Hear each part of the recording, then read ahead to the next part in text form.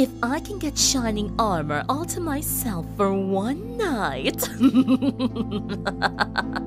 I'll wrap my lips around that monster cock of his and. You can't blow into a chicken. There are, like, no holes.